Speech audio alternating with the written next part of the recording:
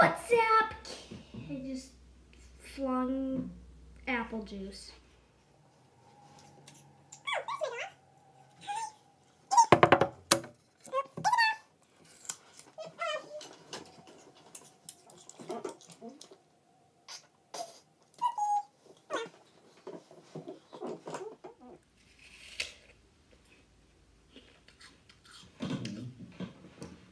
What's up, kids? It's your girl Garisa coming at you.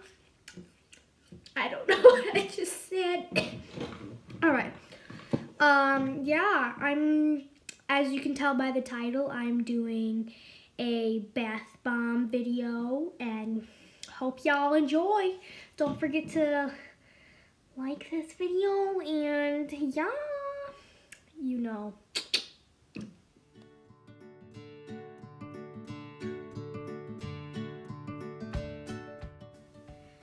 Okay, so first you're going to want to add a half cup of baking soda and you're just going to want to pour that into a bowl.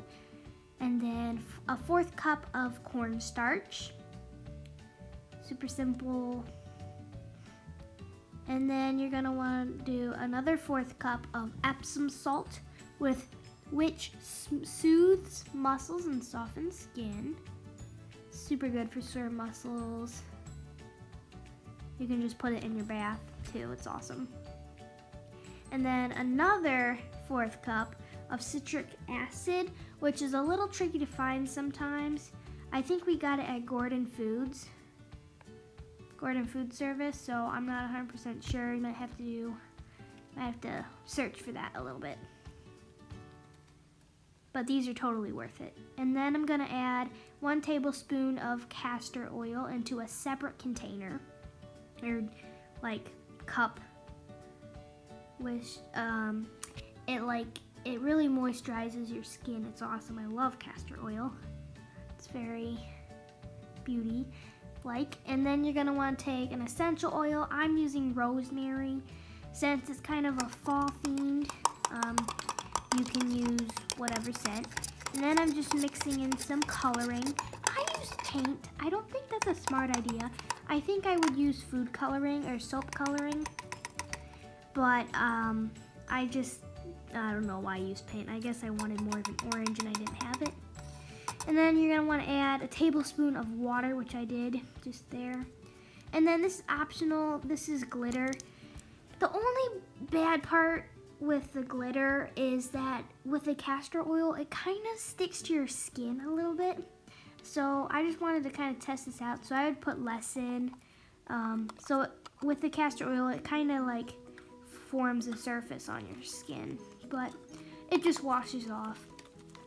Now I am adding the mixture to the dry mixture um, super slowly. And I cannot say that enough, super duper slowly.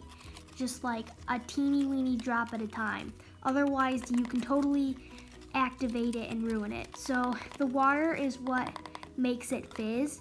So you, that's, so,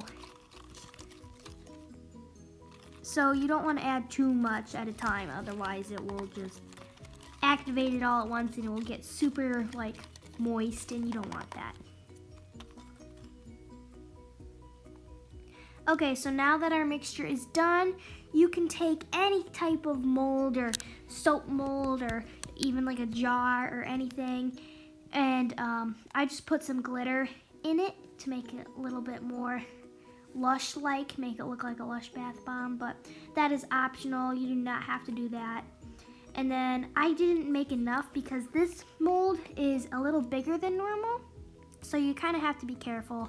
Um, just grab a, some type of container. These work well. I think we got them from Michael's around Christmas time. So yeah, just want to put it in a mold and pack it in there nice and tight. And then I actually did have a little bit of enough and I made two, so that's what it should look like.